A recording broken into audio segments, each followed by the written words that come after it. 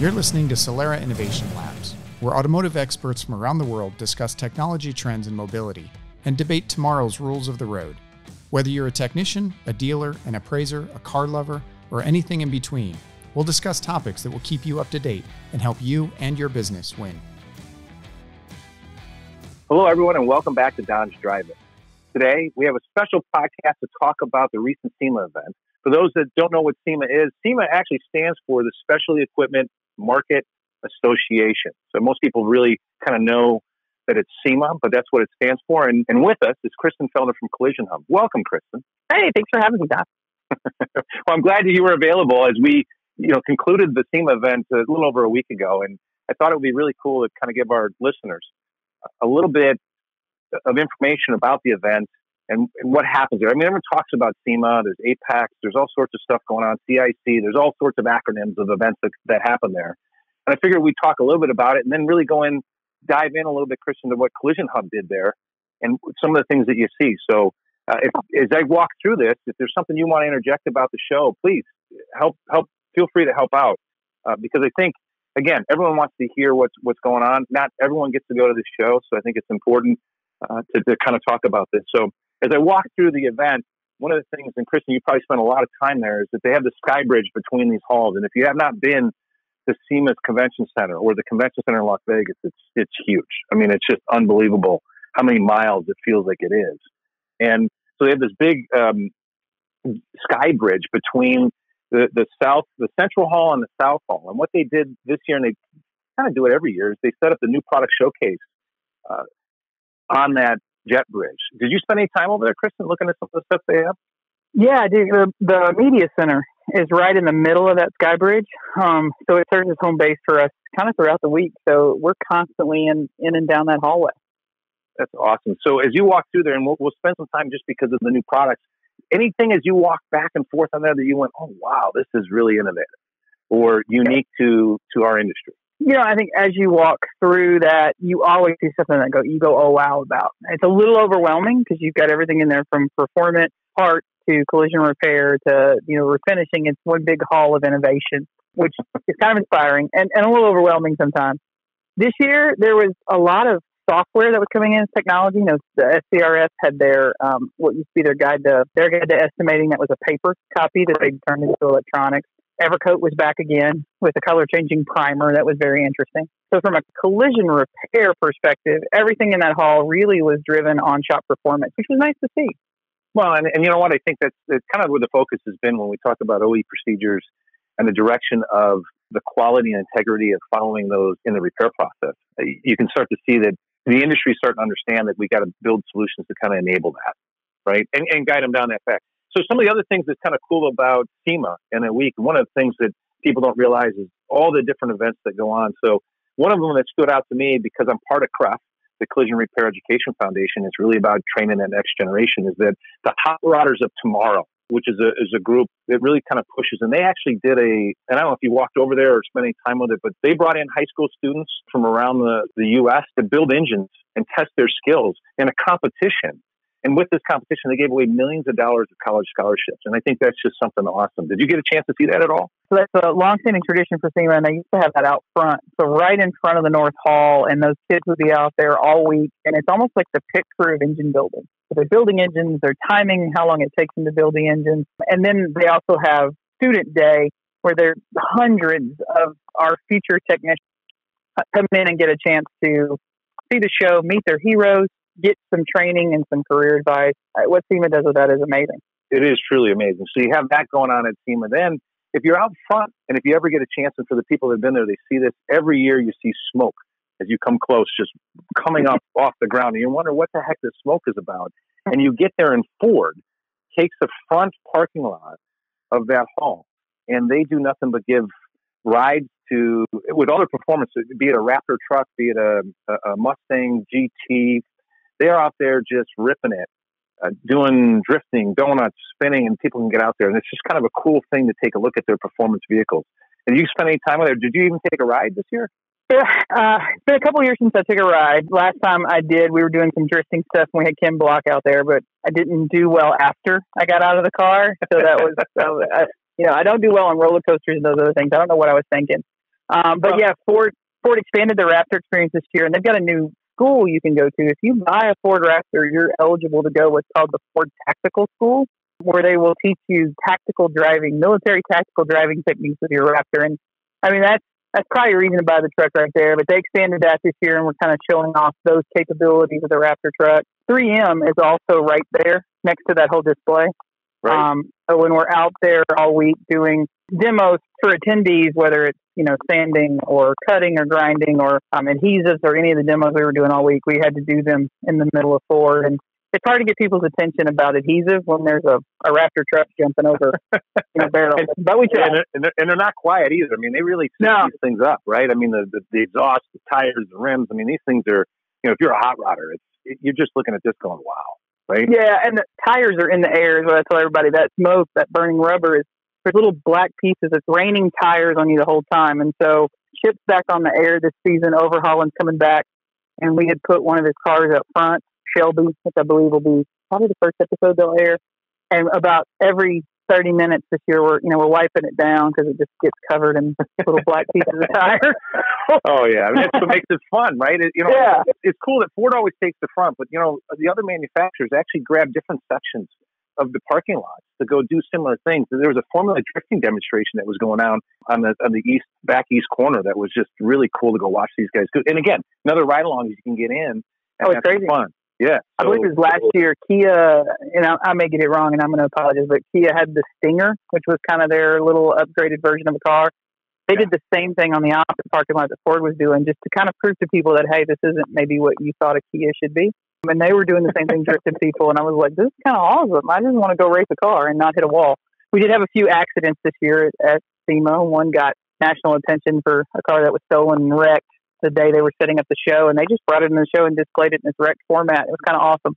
So, But it, it is kind of cool because as you walk through this, and just for everyone who's never attended, you can go from the collision section to uh, stereos to tires to suspension to mirrors.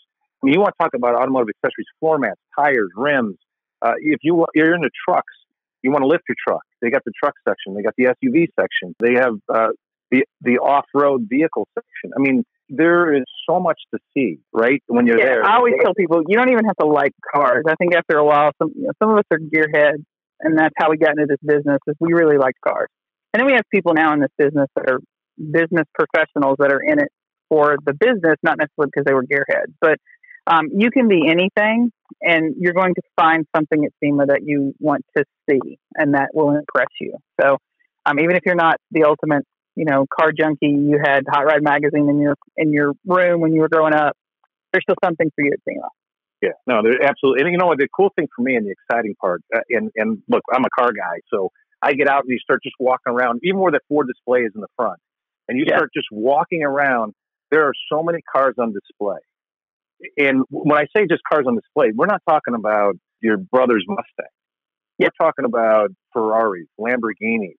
You know, a- any kind of high-end exotic vehicle is sitting there, and it's been customized from paint to wrap to rims stereos, interiors. It just floors you to look at the hundreds of millions of dollars worth of vehicles. Yeah, I wouldn't even want to add up what the risk. So you know, that old insurance in me is wondering what's the risk exposure at SEMA. I mean, how much money is here? But um, but hey, speaking of cars, last time we talked about the Corvette. Did you get over there and get a chance to sit in it? I did not.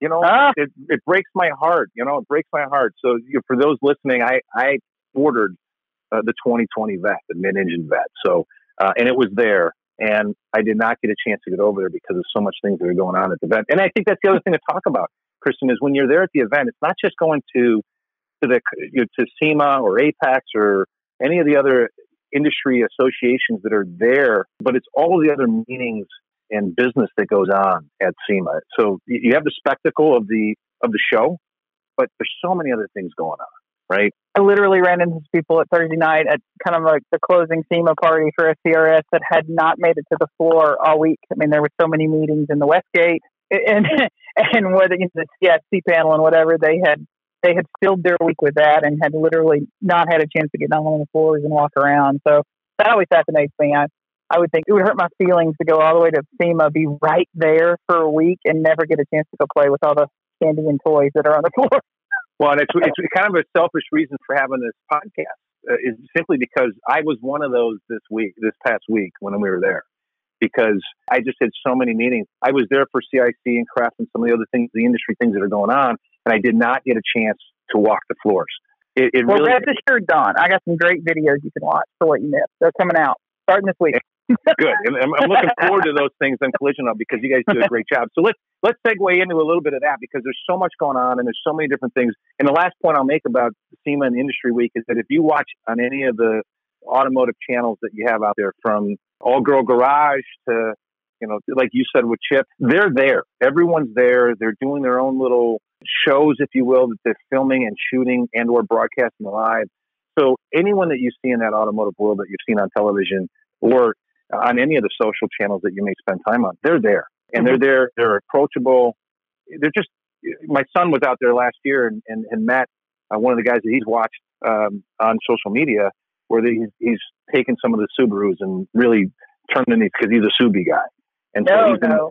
Yeah, he's a Subi guy. I don't know. He's got an STI, so he's you know he's into all that stuff. He, Dad, I got to do carbon fiber hood and you know those type of things. So it, it's just really cool. So anyone and everyone you want to see is there. But Kristen, let's let's go back and, talk a little bit about what Collision Hub does there and some of the things that you saw specific to the collision industry that our listeners would want to hear about.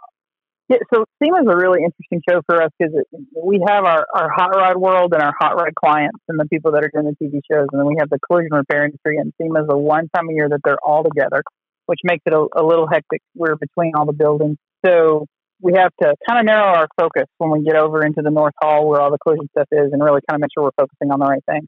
One thing this year that was apparent that we, we noticed, and a little I don't want to say scary, but obviously there's some there's now some work to be done was everybody had a calibration solution. So I, I would say three or four years ago, we went to SEMA and everybody wanted to talk about scanning. And this year, everywhere I turned, someone had some sort of calibration and targeting solution that they were offering to the industry. Um, kind of the next evolution, right? Is that now you scan it, now you got to calibrate it. So, okay, great, you're scanning. You know, I think more and more scanning, but they're they're going, okay, how do I how do I start to do these calibrations, right? Yeah, and that's you know, then the scary part of that was there there were some good potential solutions there. There's some good bones, and then there were some solutions that were were not going to work at all. As a collision repair industry, you know, we're struggling with proper repairs, welding, you know, the frame, structural. We're we're still trying to get up to speed. We let ourselves get a little down on that. And then you add all this technology with the scanning and calibration. That's a little overwhelming, and shops don't know how to ask the right questions to make sure they're getting the right tooling. So I spent most of that week getting stopped, and, uh, and someone would run up to me with a brochure and go, "I think I'm going to buy this." I would look at it and go, "No, that's not what you need." Right. And so that was one of our concerns, and so we came back with that from the show.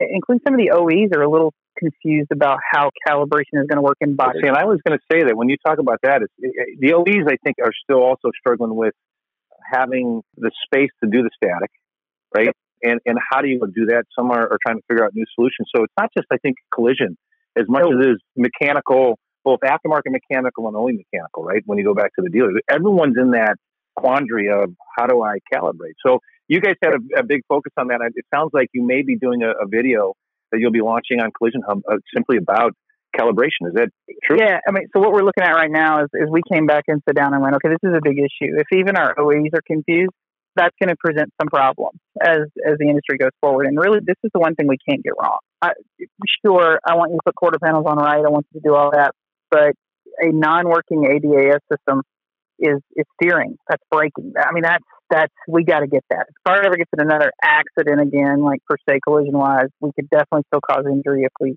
if we don't get ADAS right. So right. we, are going to have to pump the brakes on this one a little bit. Need more training. So right now uh, we scratched out a, a nine part series.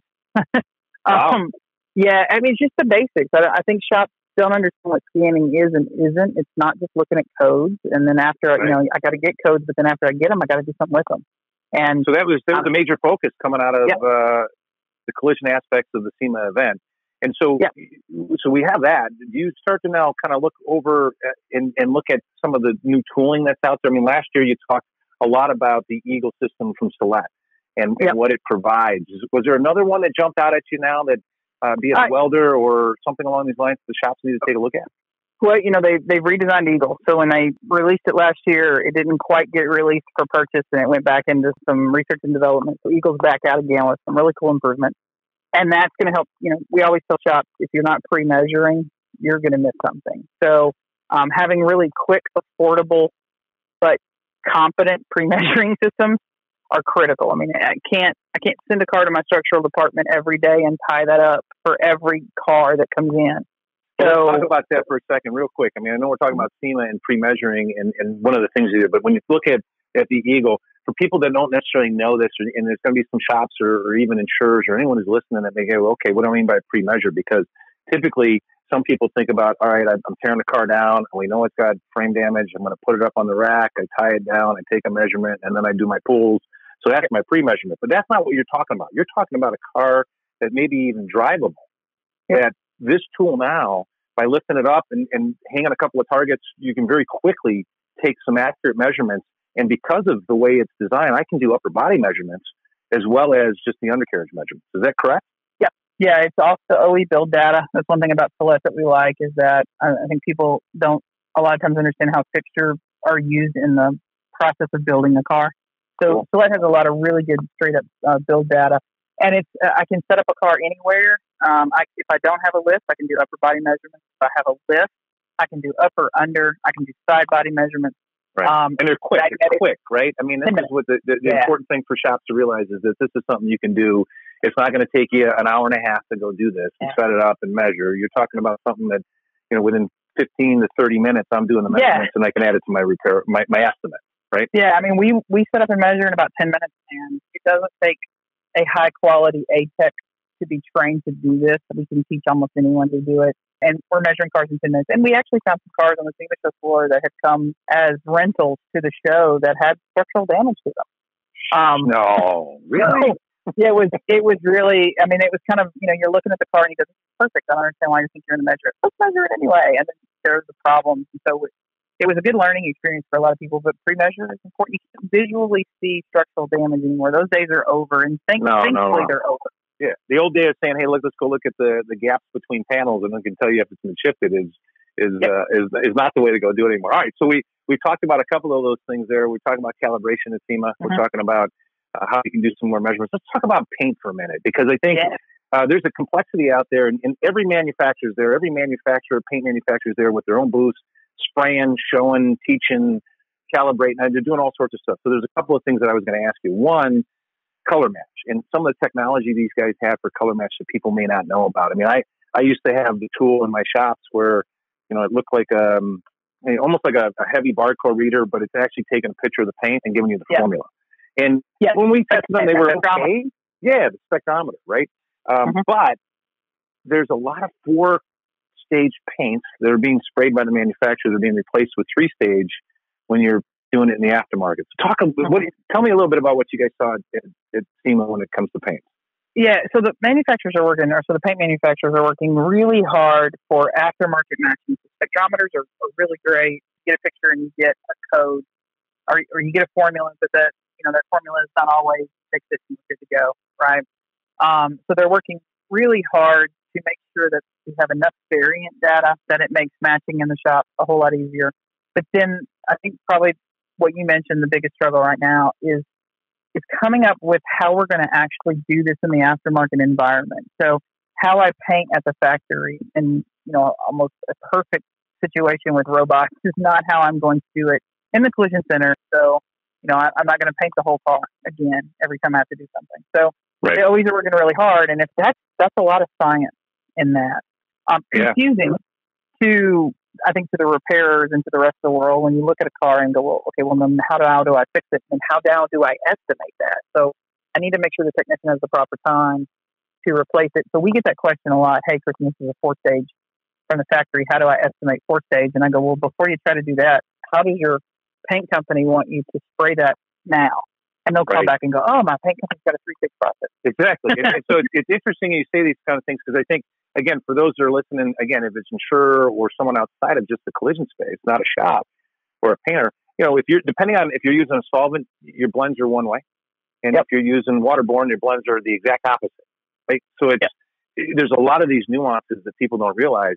as well as the coverage of, of those type of paints. Yeah, and there's know, colors that, and I like to tell shops this. I love solvent. There, there is some differences between solvent and water, and and it's not just a VOC issue. In a lot of ways, a lot of solvents now have a lower VOC than some water too. But water has a crispness and a clarity to it, and a lot of times you'll have a shop run into a situation where a particular paint coat is only available in water, um, and there's right. a reason for that. So as these colors continue to evolve, our West Coast versus West Coast, East Coast versus the middle of the country, and what products are available to them. Well, it's true. I mean, you look, you got a lot of compliancy stuff that's going on, but you know, the cool thing about SEMA is that you get a chance to, to go to every manufacturer and see how they're trying to overcome these type of things that are out there. Chris, when, when you were walking around and looking at, there's a lot of paint manufacturers out there, and look, I've sprayed almost every one of them out there. So not one is better than the other, but is there anything that they're offering out there that's unique or different that you saw this year when you were at SEMA? No, I wish, I wish I could say yeah. I mean, they're all trying to push the limits of speed and productivity. Or I would say just speed and quality at the same time. You know, SEMA is the show where everybody really likes to focus on a lot of their custom. Um, and, and everywhere you go, you know, that's kind of to the forefront of the booth. And there's a very small kind of portion in the back that's really more along the lines of what we're interested in, which is, you know, painting 10 cars a day in a, in a production environment. I think right. probably one of the companies that had the best display of that, and it's a company we don't even really work with, was Axalta. They did a lot in their booth to really talk about color match and some of those challenges. They're working a lot. Everybody's got UV. Everybody's trying to do some of that, but but um, they spent some really good time. They even had a little vending machine that had color chips in it, so that was really oh, wow. Cool. Yeah, it is yeah. very cool. You know, anytime you can take a look, the color match is, is, is the ultimate importance, not only for just the quality of the repair, but also when you talk about efficiencies right? If I don't have to blend a panel, it, it, it's almost simple as if I don't have to cut something apart, why cut it apart, right? It, it's that same philosophy on the paint side. If I can color match, you know, there's because you mentioned it earlier, and that is we can't paint in the aftermarket world like it's done at the factory when it comes to robotics in the environment. Nor can we we actually cure the paint like they do. We can't heat up the car to the temperatures they do because we have way too many things in them. the electronics and the plastic and everything would go away. And, yeah, yeah that's a big factor, and and it's it's really changing. I mean, I, I just don't paint the way I used to, and there are some colors where my panel prep goes to 1500 grit. I mean, that's insane. I mean, most paint, all of my paint formulas kind of stop at the 400 grit. So, right. you know, and it's not every paint coat in that particular, you know, Buick line, so to speak. And so right. paint now and researching, it's just, it's, everything's different. Everything's harder than what it was even five years ago. And and paint's one of the ones that's harder. So. All right. Well, that's cool. So, so I, am going to jump into some more questions about SEMA just to kind of pick your brain, right? So we talked about paint, we talked about measuring, we talked about scanning and and calibration. Let's talk about some of the things that are going on in the repair side when it comes to maybe rivet guns or those tools. You know, the the one thing that's interesting to me is that as you look at all these certifications and all these programs, every manufacturer has a, a different tool you need to go use, and the industry is trying to push hard to have maybe one tool that can service many manufacturers when it comes to this. Are we seeing that type of stuff with the with the equipment manufacturers out there? We're starting to see the OEs think that way. So I think the equipment manufacturers were always putting out products that could meet different criteria, but the work that the OE roundtable is doing together has mm. people looking at specifications versus branding. Um, you know, there's still some of our Europeans that want to, you know, Audi, for instance, everything has to be bought through that VAS program that Snap-on manages for them. And, and there's specific brands in there. But you see more and more OEs going to spec. And Rivet Guns is, is one of those that's going to spec, mostly because it's, it's evolving. So I think the first real rivet gun that we kind of had to think about in this industry was when Ford came out with the aluminum truck. And that's really when everyone's awareness came. Sure. Our European body shops have been riveting for years before that. They kind of thought we'd all lost our mind when we started thinking about riveting. but, but you know, so there was there was three tools then, three handheld tools, a lot of battery operated, and then now as the cars are evolving and more riveting is being used in repair by a variety of manufacturers, that's coming into where multiple tools. And so, you know, I can buy the Express 900 rivet tool, and that's going to fit BMW, and it's going to fit Ford, and it's going to fit all these other out there, which is nice. It saves the shop investment. Um, cool. We actually got Very stopped. By an OE chasing us down through the aisle to stop really? to talk about riveting. Um, so, you know, one of the concerns is I may, as an OE, I may have nine or ten different rivets that are part of my repair procedure, and those rivets are specific for how that rivet is shielded Um, and so it's very important that we're teaching shops. Okay, it's not just that you have the gun, do you have the right rivet? And there's some aftermarket yeah. companies. You know, I don't want to say the clip lizard style kind of thing, but there's people that just says, "Oh, I can sell you bulk rivets. You don't have to buy them from the factory." And we have repair issues now coming back because it's the wrong rivet with the wrong shield on it, and it sure. No well, you know, it's, no, it's, no, different yep. than to me. I, I make the, the relation to uh, nails, right? Yeah. There's many different types of nails when you're building a house or construction, uh, and you have to use the right one depending on what what operation you're doing. The same thing comes with the repair, right? Yeah. And you're doing a rivet, you can't just use the same. You know, so there's a there's a difference to the to what it's how it's designed, what it's made of, right? And and right. how it penetrates. And so that there's manufacturer there's to manufacturer. Yeah, yeah, I may have a I may have a you know a particular rivet that looks the same, but between Ford and General Motors, they are completely different. Don't use them cross brand. Well, that's that's awesome, Kristen. And so what I'm going to do right now is we're going to take a short break, and we'll return with Kristen in a minute to continue our conversation about SEMA. Solera Innovation Labs is a podcast produced by Solera, a global leader in data driven solutions and services. Solera collects and translates complex data into actionable insights for automotive, identity, and property partners across 90 countries and counting. Learn more at Solera.com or find us on Facebook, Twitter, or Instagram. All right, well, welcome back. We're, we're joined here today with Kristen Felder from Collision I'm talking about SEMA and the events over at SEMA. So, Kristen, I know we've been talking a lot, a lot of things uh, about SEMA, and it sounds like you guys at Collision Hub, as well as the industry, had a had a great show one of the things I was going to ask you about is as we walked through the show, and I talked about it a little bit earlier, and I, I kind of want to bring up because there's two things I really want to talk about before we, we sign off, and, and one of them is is kind of the electric hot rods that are going on out there. And I don't know if you got over to that section. I didn't. Uh, as I, I, said earlier, I wasn't able to get to the floor, but I was uh, doing a little bit of research before we got on today, and, and yep. Ford brought this lithium prototype. It's a Ford Mustang with 900 horsepower. So you, you, look at it and go, oh my gosh, it's, it's got double the, the typical uh, battery voltage. Yep. To get that horsepower. What was interesting about watching the video when they did the video at SEMA was that it's got a six speed manual transmission. So I think one of the things I wanted to just ask you about, just from a, from a, a car enthusiast, a hot rod fan, whatever, is that when you go to the electrified hot rod, you get disconnected with the fact that you don't get manual transmissions. It's, you know, it's usually a one or two speed transmission. And a lot of them, it's a single. Yeah, and it's all electronic. I mean, see, it's an electronic vehicle, so it's it's you know electronic shifting. It's it's almost driverless in a way, right? You just hit a pedal and it goes. So yeah, yeah. and you get instant power. So I mean, I'm I'm I'm sitting here in the back of my head. I showed it to my son, right, who drives the the Subi. I talked about the Subi, and he's got the six speed manual. And we we're both kind of perplexed a little bit because do you really have to shift at a at an RPM level? Because is there but there's got to be right. There's got to be gears with the way they design this this motor. No? Yeah, I, you know, I, I, I did walk through there because uh, that kind of fascinates me, and I always that's you know obviously that's where the next gen is going to be, and and the evolution of hot rodding and and performance and power and all that. And I get it, but I, I don't connect to it. It's not gasoline and burning rubber, so I have a problem with it.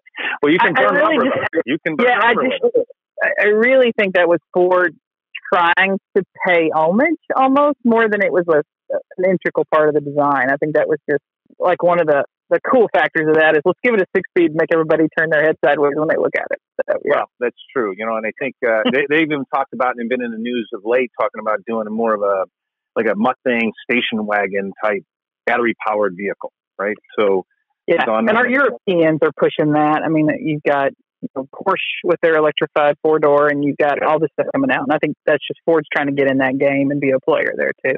So, so SEMA had a whole section on electric hot rods, and one of the things I thought was cool is you know you and I again you talk about gas and you know all that stuff, right? Being a hot rod, growing up that way, but I was just doing that research and looking at. It. They took a, a 1962 Chevy pickup truck and put an E10 motor in it, so you can go buy an electronic crate motor now. Mm-hmm. So isn't that crazy?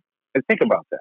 Yeah, I mean, it's I just I yeah I, I'm, I'm having. I know it's one of the things that I'm going to have to come to terms with in my life. Uh, but I just uh, there's part of me that goes, well, how, what's the longevity of that? And you know, how often do I have to charge that? How do I take an electric car on road trips? So I just stand there and stare at them and go, pretty, but I have a million questions. Um, and I was just seeing a post. You know, Nick Brown at Tesla is a is a really good friend, and you know, he I get to play with those cars, and he gets you know to drive some cool ones. But there was a, a road trip, you know, from Northern California to Southern California, and they have to stop off at charging stations along the way. And I'm like, huh, that's interesting. It's just putting your head around it. I don't know. I'll get there well, one day. It, it, yeah, and it's kind of interesting. We we did a whole show on EV vehicles, right? Uh, electronic wow. vehicles, and, and really t- kind of talking about that, where people worry about how, how far can I go from a mileage perspective and where's the next charging station. You know, I, that yeah. being said, I, I watched the Top Gear the other day, and I don't know if anyone watches those shows, but I, I enjoy those guys, especially the, the European or the, yeah. the British group that's, that's doing it. They're, they're funny, but they took a bunch of electric vehicles and tried to drive across country with them and, and couldn't find places to charge them. They were asking restaurants and hotels if they can plug in and they have their own yeah. special chargers. And, you know, yeah. so now I look at it in a hot rod and okay, I'm going to do a hot rod and for some reason, I don't look at doing a hot rod and saying I'm going to go get a get an electronic motor and stick it in here. Yeah, no, right. I, I mean, like, it's, that's the one thing I tell you when I said there's something for everybody at Sema. If you're not a car person, you'll find something worth looking at. And that's that's one of the things is where somebody just pushes the limit. You know, we, one time we joked that we were going to try to put a supercharger on a Prius just to see if people would stop, right, and, and catch it. But um, it's just you know, it's one of those things. But but the evolution for me, again, I'll just take it back to the collision route is hybrids are hybrids and or fully electric vehicles are not easy to fix and there's they present challenges such as battery storage. You have to remove the batteries when you're working on those cars. Um, lots of calibration when you're when you're talking about those cars. And so, oh yeah, you know, standing over there and looking at what's coming with electric vehicles makes me go, oh, I'm going to have this next evolution of knowledge that'll need to be brought to the collision industry. So, yeah, well, you know, I'm not out of a job. That's for sure. No, no. And you know what? With the evolution of cars, you never will be, right? Because there's always yeah. going to be something new and unique. Uh, and, it, and it's just kind of interesting. So when you were uh, on the collision floor, one of the things you just mentioned, and it brings up the, another topic in my head that be interesting for our, our, listeners. Obviously, as we do these cars and the ADAS and all the computer equipment on there, you, you can't just disconnect the battery anymore and do your welding and what have you. You got you got to make sure that it's still got power supplied to those units. And and there's a myriad of different ways, and you have to know what the charge is on that vehicle. So what what should it be? What's the current it should have versus because it's not just 12 volts anymore, right? Right. Some are 14, some are there. What type of things did you see at the uh, on the SEMA collision floor, uh, product wise, for this? Is there is there one unit that can serve multiple manufacturers? Do I need to have multiple units? Tell me about that. Do you know? Yeah, there really. What was really interesting is that the gap on the floor there wasn't a whole lot out there dealing with that. I think we're mm. still, you know, we're still trying to figure out just battery support for a regular 12 volt system when doing calibration, right? The art of removing those and caring for those products is still have to evolve. And so as you go around and visit the people that specialize in storage, whether it's, you know, innovative or Goliath or those people that build products, there's just, they didn't, they don't, there's nothing there. Um, mm. How do you store battery cells? How do you you know, if I, if I think about right. anything electronic that's 14 inches in a weld zone, I'd better get that out of there. That's a lot of stuff. That's what, how do I store airbags? How do I store sensors? How do I store all of these things and do it well? But that, that's kind of a gap. And I, one of the concerns is that sometimes at SEMA, there's the what, what I need and I go looking for what I need. And then there's the displays of what people think people want to buy. And this year was a SEMA for me where there was a lot of stuff that was offered that was things that manufacturers thought people wanted to buy that they don't really need right now. yeah, um, maybe it's a little early so, or premature to where it is in the, in the industry need. Yeah, but the shops think they do, and they'll spend money on it, and so that's disheartening in a way. I don't blame the manufacturers; that's their job. But it just means there's more responsibility on me to educate to to help people not. Right. You know, if we go back to the early stages of when you know OE repair information and OE certification programs came out, you'll hear shops tell stories of, "Hey, I went and bought a bunch of stuff I didn't need," and they regret it yeah. I don't want to have that happen again. So there's there's some stuff over there. And then there, I was walking around, and so that was one of the things. I, I have a dealership group that we work with in Texas, and we're mm-hmm. struggling with battery storage. You know, how do we can't can't sit on the floor, right? And you don't want them to get yeah. run over and knocked or kicked. Do we need a new building just for battery storage, and then best way to store them, and and you know can't just wrap yeah. them in plastic. A lot of, a lot of questions with with batteries that are out there, especially with you know again the electric yeah. vehicles and and really the the ADAS systems and all the computer modules on these vehicles. You know, the old days of having one or two modules on a car are gone. Yeah, on everybody wants. You go yeah. on a car these days, and the first thing a salesman tells you, "I've been I've been car shopping lately. Um, mm-hmm. I have two huge boys. I'm going to have to do SUV. No more little sports cars for me." You go, and the first thing they want to show you when they open the doors is, "Let me show you how many phone chargers are in the car." Well, that takes power. and so that's a that's a complete redesign of electricity and systems in cars just so we can have literally 12 phone chargers in an SUV. That's crazy. Well, Dave, one one battery is going to be gone in a lot of these cars, but uh, so so you know we talk about electric vehicles, we talk a lot about uh, the things that are there. I'm, I'm kind of starting to wrap this up, and I want to talk about one of the really what I think is one of the coolest things that SEMA does because SEMA is filled with nothing but a ton of custom vehicles, be it wheels, uh, paint jobs, motors, in, interiors, all sorts of customization that's out there, right? And how do you really show it off from just sitting there? Because if you can't get into the show, you can't see this. But one of the things they did is they decided, and, and I don't know if it went back seven years ago or how long ago it went, but they decided to do a cruise night. So it's Friday night when they shut down the show, right at the mm-hmm. close of the show, and it starts around 4 p.m. And and how often do you get involved with this? Because I mean, my understanding, and I I did not get to see it this year because I had left town, but there's over a thousand vehicles that do this. What we'll call the you know the the, the cruise, where everyone mm-hmm. gets to go see this. So even if you can't get into the show, you can set up and watch the cruise. Is that true? Yeah, and so it's uh, and and I think it's right in that five or six year range. When I first, I have to do this every year, which a lot of us weren't excited when SEMA did a, the SEMA Ignited event because that just prolonged our Friday. We weren't done at four o'clock like we thought we were. um, but the locals used to line up on the streets, and it was not a formalized parade, and it grew bigger and bigger and bigger every year. And so I remember the first years of SEMA and doing productions with the TV shows and whatever, we were fighting those crowds. And I think SEMA wisely just said, "Hey, let's just make a party out of it and do a parade." Um, so there are huge grandstands that are just packed with people, and cars start to roll out and drive past the grandstands uh, everybody who's rolling out just to try to get to their trailer to load up and go home. And then a few cars go over to what's called the SEMA Ignited event. And that okay. tripled in size just since that started. And that's where Battle of the Builders is announced. You know, Discovery yeah. Channel slash, you know, no longer Velocity. I guess Motor Trend's over there shooting their shows and doing a SEMA special and all that.